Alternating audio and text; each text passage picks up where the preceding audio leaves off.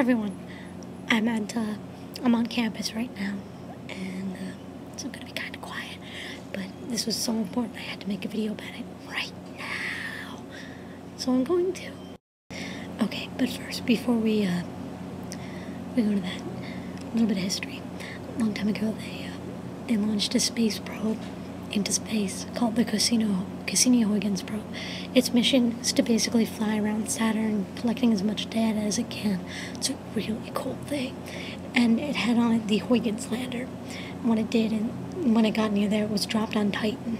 Titan is now officially the only moon besides our own to have been explored with a lander, and the only other thing besides Mars, I think. But either way, um, so they put this lander on there because they wanted to check for organic molecules, and this has been going on for a while. But today, something really cool happened when the Huygens probe uh, stuck out its scanners today to uh, collect atmospheric data. Came back with something very interesting.